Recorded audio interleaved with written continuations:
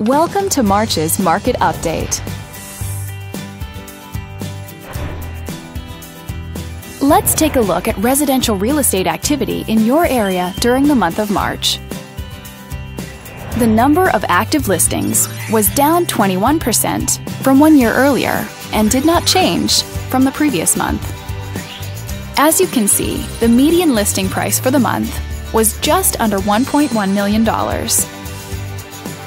Compared to last year, the average number of days that units spent on the market before being sold was down 10%. The median sale price was just over $950,000. The number of units sold decreased 38% year over year and increased 45% month over month.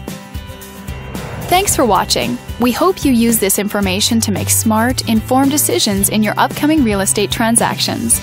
Feel free to contact us for more information or further assistance.